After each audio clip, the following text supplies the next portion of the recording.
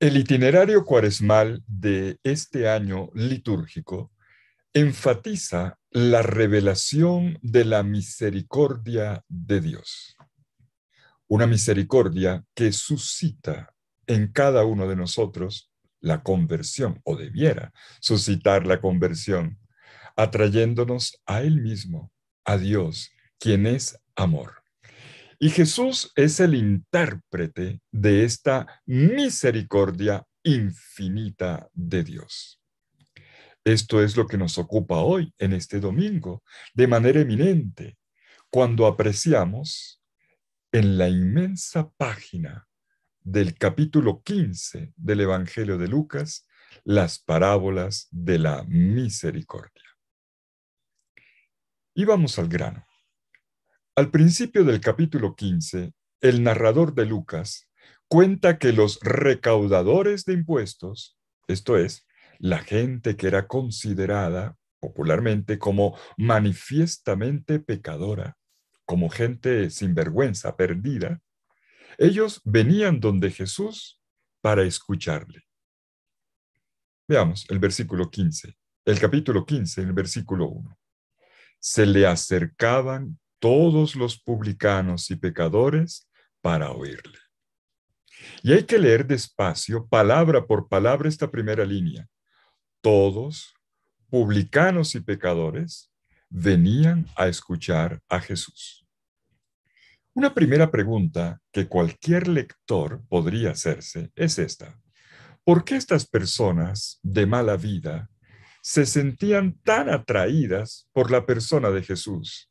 Y en cambio huían, huían de los sacerdotes y de los fieles practicantes de la ley, como eran los fariseos y los maestros de la ley. ¿Saben por qué?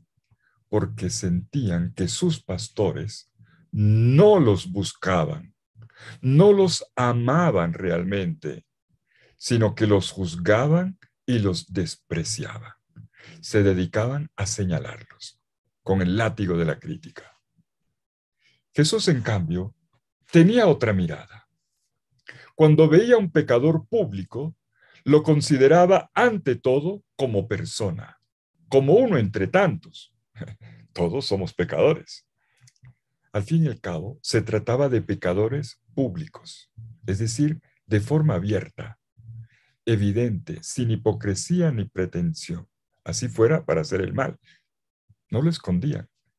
Los fariseos también pecaban y ellos sí lo escondían. Se mostraban santos, pero a escondidas pecaban y aún así se atrevían a juzgar. Ser pecador público es doble dolor. El pecado en sí y además el señalamiento de la gente. Y ante ellos Jesús sentía compasión. No juzgaba a quien tenía por delante, no lo condenaba, sino que iba a buscarlo allí donde estaba, en su pecado, para ofrecerle una relación, para ganar su confianza, la posibilidad de caminar juntos, de escucharse mutuamente, sin prejuicios mutuos. Tenemos entonces, como primer dato, que los pecadores huían de la comunidad judía y acudían más bien donde Jesús. Y este hecho escandalizó a los religiosos de oficio, quienes murmuraban diciendo, veamos el versículo 2, este hombre acoge a los pecadores y hasta come con ellos. Se nota la sorna. La queja se hace sentir. Más aún, se expresa, no abiertamente, sino en forma de murmuración. Y miren el verbo. El verbo griego es diagogizo, que significa hablar mal de otra persona, pero a sus espaldas y en voz bajita, creando complicidad con la que hablas, pero bajito para que el interesado no capte lo que se dice. Pero Jesús lo capta y le responde a sus detractores. No lo hace con violencia, ni siquiera haciendo una apología de sí mismo responde con parábolas, con historias de vida que confrontan al oyente. Tres, tres parábolas de seguida, de seguido, tres para ser exactos. Primera, la de la oveja perdida, versículos 4 al 7. Segunda, la de la dragma perdida, versículos 8 al 10. Y la tercera, la del Padre Misericordioso, versículos 11 al 32, en la que nos detenemos hoy. Tres perdidos, la oveja, la moneda y un hijo. Y los tres serán recuperados, y con los tres habrá fiesta. Pero quedémonos con la parábola del Padre Misericordioso. Esta tercera parábola es la historia de dos hijos perdidos que tienen un papá que ante la agresión sufrida por parte de sus hijos, responde de una forma inaudita, como un papá pródigo de amor. Te invito a que me acompañes en el subrayado de apenas algunos detalles. Al fin y al cabo, la parábola habla por sí misma a cada lector le queda la tarea de releerla a partir de su propia experiencia de vida, de su propia historia.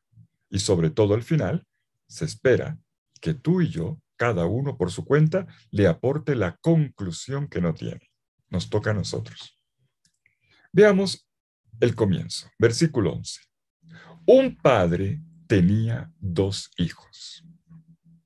Jesús cuenta la historia de una familia que, como todas las familias de la tierra, no es ideal.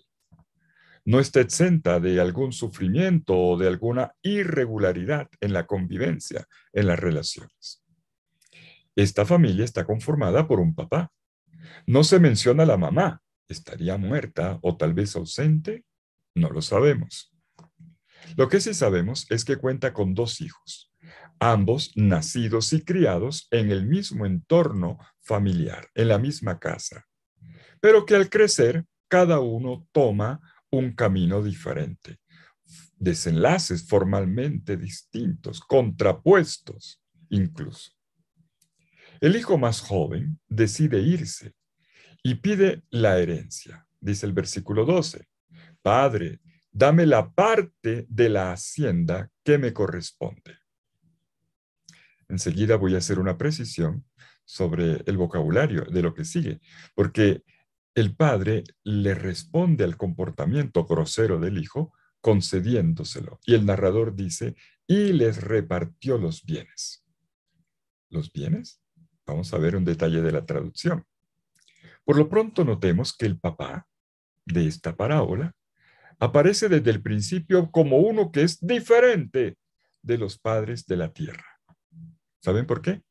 Porque ante la petición del hijo menor de recibir la herencia por adelantado, que de alguna manera es quererlo ya muerto, el papá le responde dejándolo proceder, sin amonestarlo, sin llevarle la contraria, sin advertirle las consecuencias.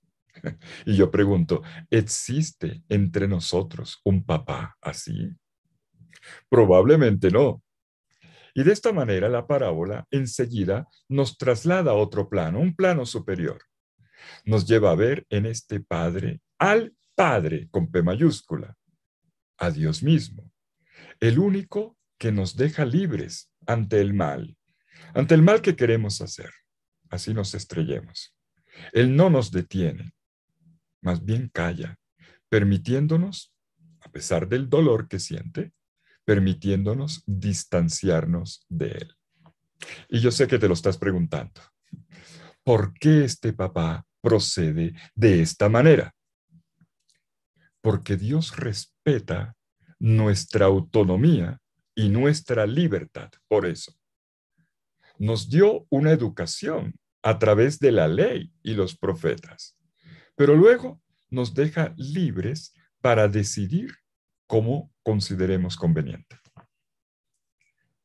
Y es en este contexto que el papá de la parábola reparte la herencia entre los dos hijos. Y ahora sí, la precisión que quería hacer.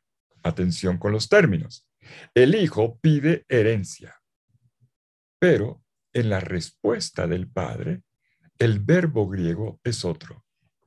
No se dice le repartió la herencia en griego, se dice le repartió la vida bios en griego, la vida, su vida. Y notemos también el plural, les repartió, no solo al menor, al mayor también.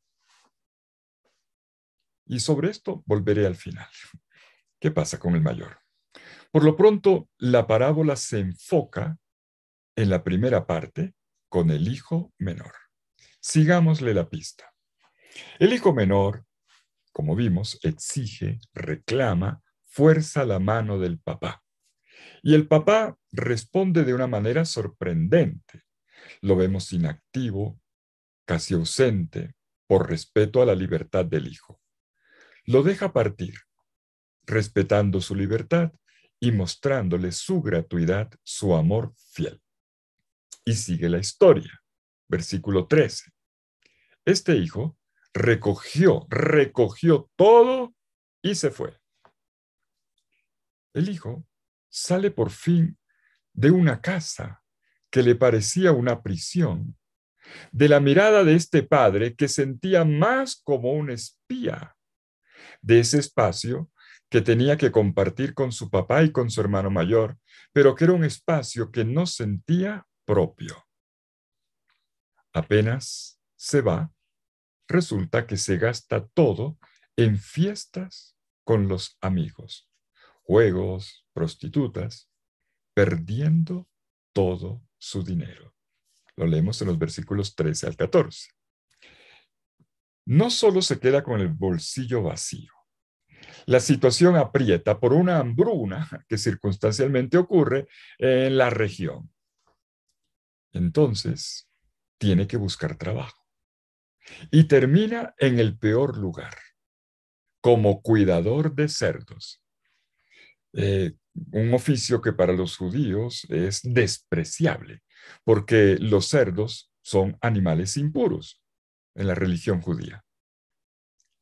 Para este joven, hacer esto es repugnante, pero lo hace por la sobrevivencia. Y en medio de todo, allí se siente explotado. Lo dice el versículo 16, que ni siquiera le permitían, no le daban comida, ni siquiera la de los cerdos. Y Jesús, quien es el narrador, subraya la frase. Miren la frase. Comenzó a encontrarse en necesidad. Erjato, histerestai, se dice en griego. Comenzó a encontrarse necesidad. Hay un vacío. A él le falta algo. Y le falta algo eh, que, que le lleva a pensar. Esto ocurre siempre. La falta de algo es siempre capaz de suscitar interrogantes. Y es en medio de la desolación que empieza a comprender mejor a dónde puede ir. ¿Qué le faltaba? Ciertamente la plata, el dinero gastado, pero también el alimento para vivir. Pero también le hacía falta alguien cercano, alguien que lo alimentara. No solo dolía el estómago, dolía el corazón en la soledad. El texto dice que no había alguien que le diera las algarrobas. O sea, resuena la palabra nadie. Nadie se las daba. Ese nadie duele. Es el hueco de una soledad, de una ausencia. La carencia es total. Y esta desolación saca a flote esa necesidad de reconocimiento y de atención que tiene todo ser humano. Necesitamos de otros, y cuando esos otros desaparecen del horizonte, uno queda desolado. Sin los otros, se camina, se entra en la soledad de la muerte. ¿Y qué ocurre entonces? Versículo 17. Este joven entra en sí mismo. Sumido en condición degradada, igual o peor que los animalitos que cuidaba, el joven comienza a tomar conciencia de su propia situación. Entró en sí mismo. No se puede hablar todavía de conversión, pero hay un primer paso, eso sí. Las ganas de decir, ya está bueno, basta. Basta con esta situación de hambre, de soledad, de desolación. Y la parábola nos permite escuchar los pensamientos de este joven. Él piensa cómo podría dar marcha atrás, cómo podría volver atrás, recuperar parte de su condición de antes cuando estaba en la casa, al menos una parte. No piensa volver como hijo, no se lo merece, considera él, pero por lo menos que el papá le dé algo de comer. Será un sirviente y así asegurará su alimento. Mejor en casa como sirviente que aquí como un cerdo. Lo que tiene en mente es la condición de los, de los sirvientes que él tuvo en su casa. Y conocemos el libreto. El libreto que lleva preparado para aplacar la posible ira de su papá, para ser readmitido en casa. Versículo 18. Me levantaré e iré a mi padre y le diré, Padre, he pecado contra el cielo y contra ti. Ya no soy digno de ser llamado hijo tuyo. Trátame como a uno de tus jornaleros. Hay una ironía. Aun cuando habla de pecado, he pecado contra el cielo y contra ti, lo que lo mueve no es el amor a su padre, sino solo el interés personal. Lo que le duele es, lo que le duele ahora es el estómago, no la herida que le ha causado a su papá.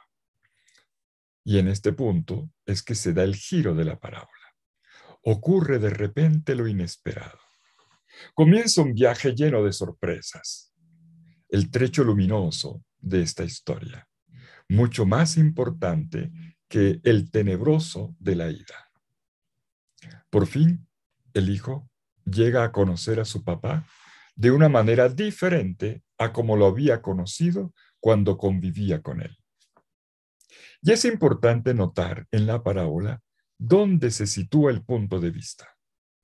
El hijo, de, el hijo menor piensa que su padre lo va a hacer rendir cuentas por sus fechorías. Por eso viene humillado.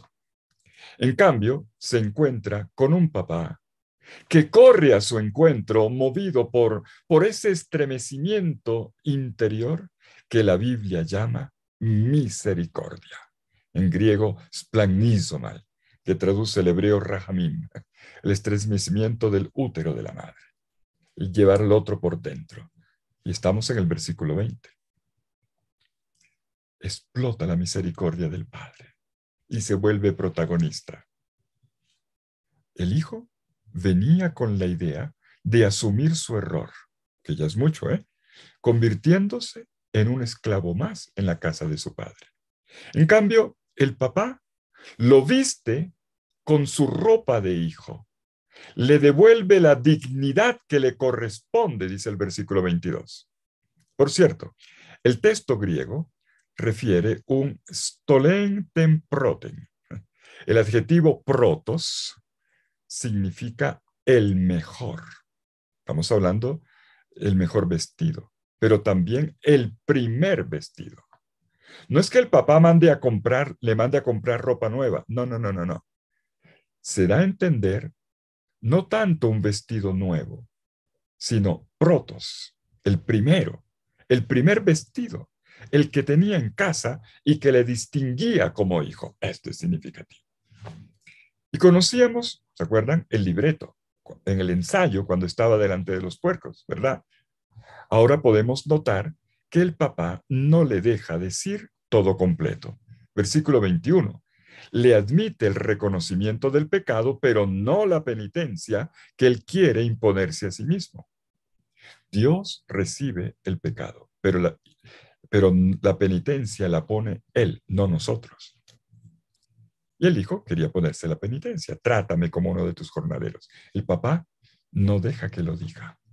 Es el papá quien decide cómo proceder. Y no lo va a tratar como esclavo, sino como un hijo. Y la cosa va más lejos. El hijo, vimos, venía dispuesto a llorar y a humillarse. Y en cambio su papá le prepara un banquete de fiesta, haciendo matar el ternero cebado. Versículo 23, está el detalle. El que viene a ponerse a los pies de su papá como un penitente, resulta buscado abrazado, besado, vestido con vestido de hijo, con anillo y con sandalias. Todo indica que el padre no examina si el hijo viene con verdadero arrepentimiento. Simplemente lo recibe con los brazos abiertos. No lo deja hablar. Lo abraza con fuerza. Le impide los gestos penitenciales y expiatorios. Y de esta manera le muestra la gratuidad de su perdón, tal como había profetizado Oseas. ¿Se acuerdan? Oseas, capítulo 1, versículo 2 y capítulo 11, versículos 8 al 9. Dios sigue amando a su pueblo mientras su pueblo se prostituye y cuando puede, lo abraza y lo acoge. Pues sí, este era un padre diferente, un padre diferente de como lo había conocido el hijo menor cuando estuvo antes en la casa de la que había salido huyendo. Es como si este descubrimiento lo resucitara, como si lo pusiera de nuevo en pie y le diera la posibilidad de una vida nueva en comunión con un papá que no hacía sino amarlo. Y la parábola podría terminar con la frase del versículo 24, y comenzó la fiesta y se pusieron a celebrarlo. Este es el final feliz de toda historia. En este caso se trata de la experiencia que el hijo menor hace del rostro del Padre, rostro de misericordia, amor fiel que nunca falla, amor que no se acaba a partir del pecado. Pero, pero no, la parábola no termina aquí. Falta lo más importante. Esta parábola es una secuela. Están de moda las secuelas. ¿eh? Lo vemos en las series de las plataformas de televisión. Esta es una secuela. Le falta un episodio. Y el final, de todas maneras, quedará abierto. No será un final ni feliz ni infeliz. Lo uno o lo otro dependerá de la respuesta que nosotros, los lectores, le demos a las palabras finales del Padre. Vamos para allá. ¿Se acuerdan ustedes qué fue lo que llevó a Jesús al principio a contar esta parábola? Versículos 1 y 2 del capítulo 15 de Lucas. Fue la crítica despiadada de los escribas y fariseos, las autoridades religiosas, porque Jesús tenía trato con publicanos y pecadores y comía con ellos, que es el equivalente de una fiesta. Como el hijo menor los pecadores, ahora veamos la correlación, como el hijo menor, los pecadores eran invitados a conocer el verdadero rostro de Dios y por lo tanto a sentirse perdonados hasta la conversión. Ellos se parecen a la primera parte de la parábola. Pero ante Jesús estaban también los que se consideraban justos, justos y buenos, y desde esta posición se consideraban autorizados para criticar, para juzgar. Y es para ellos, para ellos, que Jesús cuenta la última parte de la parábola, porque ellos son los que se parecen no al menor, sino al mayor, al mayor que permaneció fiel en casa y que se permite criticar al papá por la manera como ha recibido a su hermano, a este hermano disipado que ha regresado a la casa. Retomemos la parábola. Entra en escena el hijo mayor, el que asume una actitud arrogante, de incomprensión, ante el comportamiento misericordioso del papá. Vamos en los versículos 25 al 32. Aparece en escena regresando del campo donde estaba trabajando. Y aquí vemos su fidelidad, su obediencia, eh, su esfuerzo por agradar al papá. Y cuando llega, a la distancia, escucha la música que proviene de la casa y pregunta cuál es la razón. Y un criado le explica cómo han ido las cosas. Versículo 27. Tu hermano ha vuelto y tu padre ha hecho matar el ternero cebado porque lo ha recuperado sano y salvo. Y entonces el hermano mayor se pone rabioso y decide no participar en la fiesta, en una fiesta que él considera injusta injusta para él. Y se queda fuera. Y ahora, miren el detalle, es el padre el que vuelve a salir. Había salido a buscar al menor, ahora sale a buscar al mayor. Sale por segunda vez al encuentro del mayor. Mm, mm. Le ruega, le ruega que entre para compartir la alegría por su hermano que estaba como muerto, pero que ahora es un hombre, un hombre nuevo. Estaba muerto y ha vuelto a la vida, estaba perdido y lo hemos hallado. Pero los argumentos del padre parecen inútiles para este hermano mayor. Las palabras del papá lo irritan todavía más. Y se refiere a su hermano con desprecio. Ese hijo tuyo, dice él, ese hijo tuyo. Y hace un parangón entre la manera como el papá ha tratado al menor y cómo trata a él el mayor. Él sigue pensando que es una injusticia, porque a él, que se ha portado bien, que no para de trabajar en la hacienda, como se acaba de recordar, no le han dado ni un cabrito para divertirse con sus amigos. En cambio, el papá manda matar para su hermano sin vergüenza el ternero cebado, para este que devoró la fortuna con meretrices, lo dice en el versículo 30. En pocas palabras, dice el hermano mayor, ¿cuándo fue celebrado alguna vez el haber permanecido obediente y fiel a tu lado, papá. ¿Por qué al que se porta mal le haces fiesta? No es justo. Bueno, cualquier lector se da cuenta de que se trata de una excusa ridícula, infantil. Es claro que el mayor, a pesar de haber permanecido cerca de su padre, en realidad no lo conocía. Tampoco él lo conocía, ni el menor ni el mayor siempre había estado en casa en obediencia, pero en realidad su corazón estaba en otro lado, como ausente. Nunca había leído el corazón de su papá, nunca había confiado en su papá y no había aprendido nada, nada de él, y por eso lo recrimina. No conocía realmente a su padre. Por eso el papá se lo tiene que revelar. En el versículo 31, Hijo, tú estás siempre conmigo y todo lo mío es tuyo. Es como si le dijera, oye, podías llevarte libremente un cabrito, todos los cabritos que quisieran son tuyos, ¿eh? para hacer fiesta con tus amigos. ¿Por qué no lo hiciste? ¿Me tenías miedo? Y el papá explica finalmente el porqué de su comportamiento inaudito. Versículo 32, final de la parábola. Era necesario celebrar y regocijarse, porque este hermano tuyo estaba muerto y ha vuelto a la vida, estaba perdido y ha sido encontrado. Este es un papá, permítame que lo subraye, es un papá que ama la libertad de los hijos, que la provoca, la espera, la festeja la sufre también. Un papá que corre al encuentro de los dos hijos, porque tiene prisa en sanar sus corazones, en cambiar los dolores en abrazos, de llenar el vacío de sus corazones, que es la raíz del pecado. Él había perdido los dos.